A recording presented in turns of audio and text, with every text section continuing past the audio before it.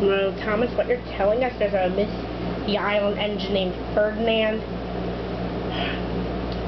Oh my chuff and puff, Percy. That's what I've been trying. That's what I'm trying to say. Wow. Another engine. This is not gonna be good. How do you assume that? It's not like since I came, said Belle. I'm having a wonderful time. On Misty Island, meanwhile, across the ocean on Misty Island, the engines are playing little game. They're playing Wonky Whistle.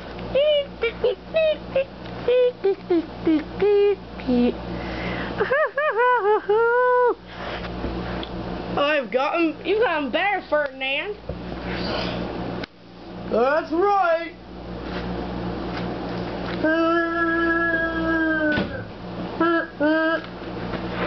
Then a whistle came.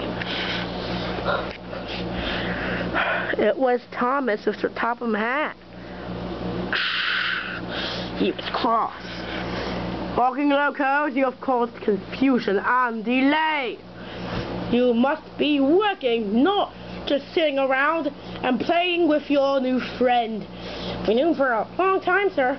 That's right. Well, I need you two to go, and you two, Ferdinand, to go and help them. All right, sir. I'll do as that as what you say. The engine's chuffed off. Sir, I don't even get how you how you found Ferdinand. Remember how Bash and Dash said that time that they had a friend named Ferdinand? That we just first we first met them then. Said Thomas. He was very concerned. Well, Thomas, now they're now they're now they're whole again. And that made Thomas that made Thomas happy to see his friends be a whole family. Ding,